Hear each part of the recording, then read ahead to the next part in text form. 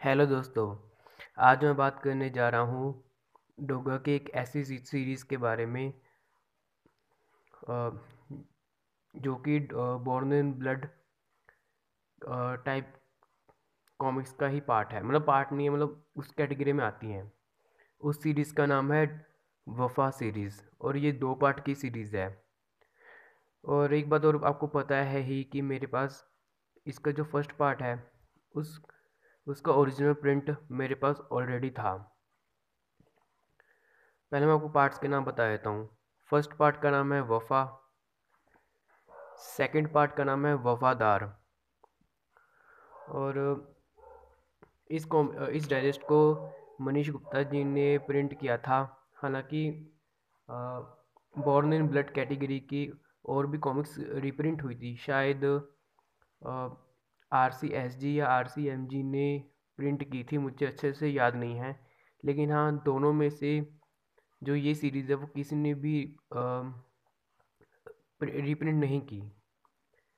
हालाँकि एक चीज़ और बताना चाहता हूँ कि जिस वक्त मैंने इसका ओरिजिनल ओरिजिनल पार्ट ख़रीदा था, उस वक्त जो फ़र्स्ट पार्ट ये था, ये मतलब एक रेयर कॉमिक थी और इसका जो सेकंड पार्ट है, वो इजीली कहीं पर भी अवेलेबल था।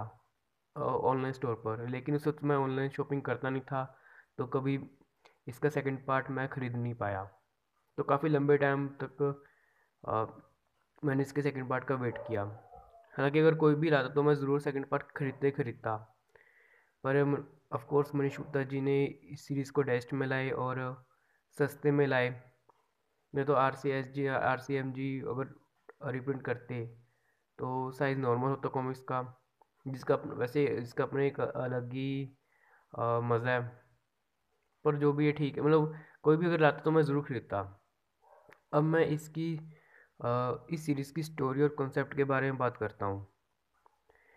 जैसे कि मैंने बताया कि ये वफ़ा सीरीज़ है तो ऑफ़ कोर्स कि इसमें वैसे ही कुछ ताम झाम देखने को मिलेगा। बस एक और एक बस ये है कि एक लड़की है, जिसका नाम वफ़ा है और वो दावा करती है कि वो एक मशहूर फ़िल्म एक्टर की पत्नी है। लेकिन बात वही है कि जो फ़िल्म एक्टर होता है, वो इस इस चीज़ को मना करता है बोलता है कि वो उसके प्रति अट्रैक्टिव है तो इसलिए ऐसे कोई झूठी मूठी कहानियाँ बनाती है। तो सारी स्टोरी इसी के रिवॉल्व घूमती है। और स्टोरी मुझे काफ़ी अच्छी लगी। बस इसका जो एंडिंग थी, वो थोड़ा सा हल्का लगा मुझे ब्लैक लेकिन जो बाकी स्टोरी है, वो काफ़ी ज़्यादा मुझे अच्छी लगी। और एक चीज़,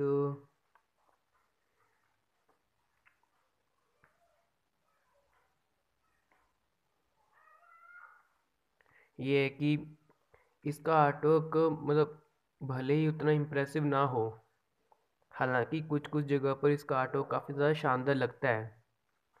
लेकिन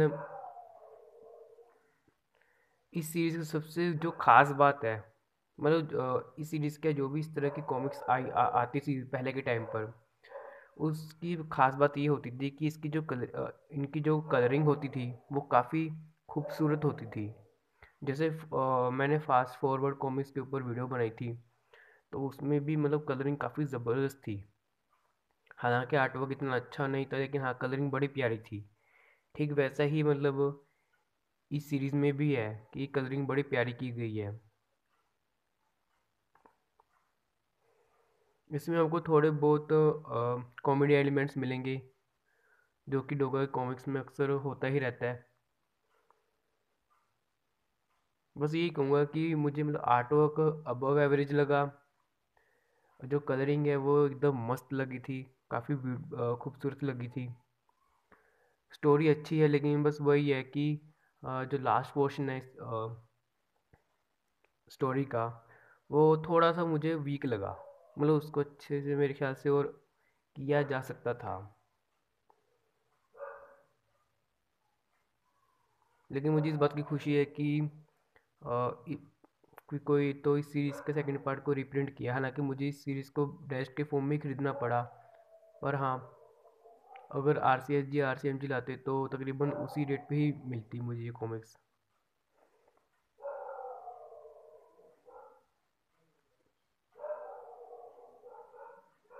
आप खुद देख सकते हो कि कलरिंग बहुत ही ज़्यादा ज़बरदस्त है। बस यही कहूँगा कि अगर आप डोगा फ़ैन हो, तब तो आपको डेफिनेटली ये सीरीज़ खरीदनी चाहिए। अगर ये अभी तक अवेलेबल है तो। अगर आप नहीं, अगर आप डोगा फ़ैन नहीं भी हो, और अगर आप एक एक फन टाइम एंटरटेनमेंट वाली स्टोरी को एंजॉय करना चाहते हो, तब भी आप इस सीरीज़ को खरीद सकते हो। और जैसे मैंने बताया कि मेरे पास इस कॉमिक का फ़र्स्ट ओरिजिनल पार्ट है फ़र्स्ट पार्ट है। ऑफ़ कोर्स कि थोड़े बहुत डिफरेंसेस देखने को मिल ही जाएँगे। कलरिंग में भी डिफरेंसेस देखने को मिल ही जाएँगे। अगर कभी टाइम मिला तो आ, मेरे पास जितनी भी मतलब डबल कॉपीज़ हैं कॉमिक्स की आ, मैं सभी की ऊपर एक हेल्दी कंपैरिजन वीडियोस लाऊँगा अगर कभी टाइम मिला तो।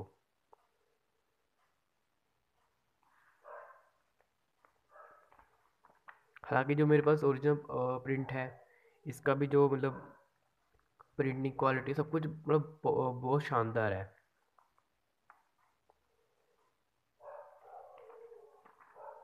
और जैसे मैं बताया था कि जिस वक्त ये कॉमिक खरीदी थी तो ये फ़र्स्ट पार्ट रेयर पार्ट था सेकंड पार्ट इजीली अवेलेबल था।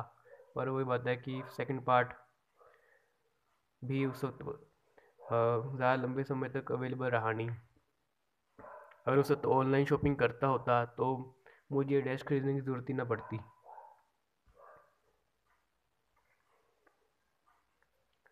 मतलब कहने का मतलब ये है कि मतलब जैसे बोर्न इन ब्लड कैटेगरी की ये कॉमिक है? हमको हमको पता है कि वो, कि उस वक्त ऐसी कलरिंग हुआ करती थी। चाहे आप नगायन सीरीज़ ले लो, चाहे आप आतंकहर्ता नागराज की शुरुआती कॉमिक्स के ले लो चाहे अमर प्रेम सीरीज़ हो गई मतलब ऐसे जो फास्ट फॉरवर्ड हो गई कॉमिक मतलब ऐसी कॉमिक के जो कलरिंग है, वो काफ़ी शानदार किए गए थे। और इसमें मतलब क्रेडिट्स दिए गए हैं, जिसमें एक रंग और सुलेख सुनील पांडे जी ने की है। इफ़ेक्ट डाले हैं सुरेश जी ने। आर्ट और दिलदीप सिंह जी का है।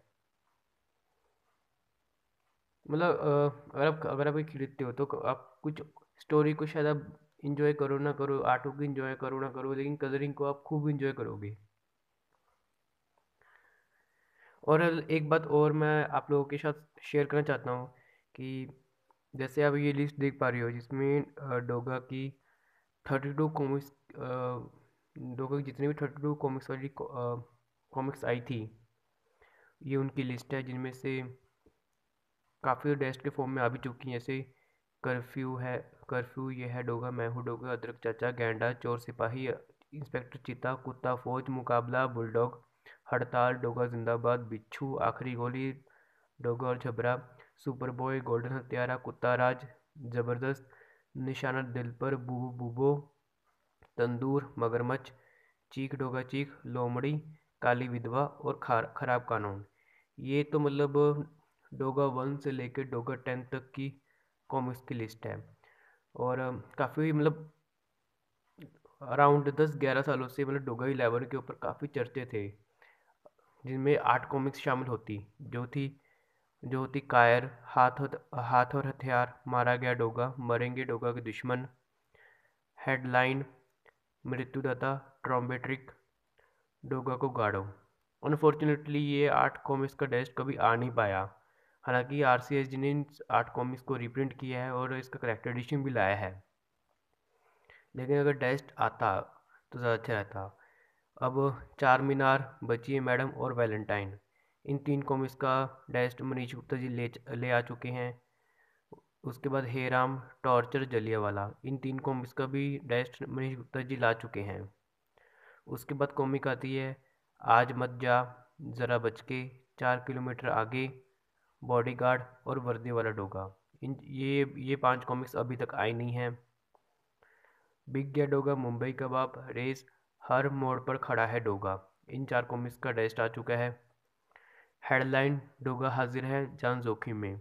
ये तीन कॉमिक्स का डेस्ट आ चुका है। और जिन कॉमिक्स का डेस्ट आ चुका है मतलब डोगा डोगा की जो बत्तीस कॉमिक्स वाली पेजेस वाली कॉमिक्स हैं, उन सब के ऊपर मैं वीडियोस ला चुका हूँ।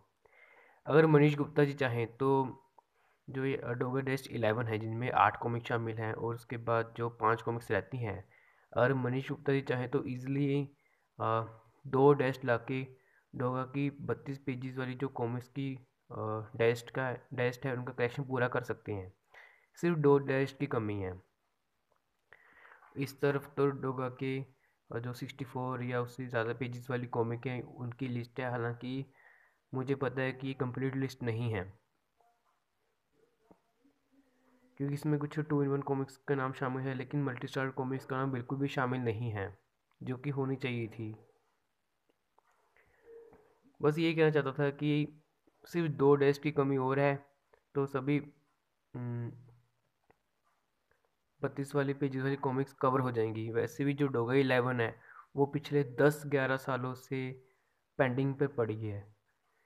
अगर ये आज चाहे आर सी एस जी ने इसका कलेक्टेड एडिशन ला दिया सिंगल शॉट में कॉमिक को रिलीज़ भी कर दिया, लेकिन मुझे पता है कि अगर डोगा डैश इलेवन अगर छपती है तो लोग इस डेस्ट को खुशी खुशी लेंगे। और आठ कॉमिक्स हैं, बत्तीस पेजेस वाली कॉमिक्स हैं, total two fifty six pages बने होंगे डेस्ट में, जो कि इसलिए मतलब आराम से डेस्ट आ सकती है।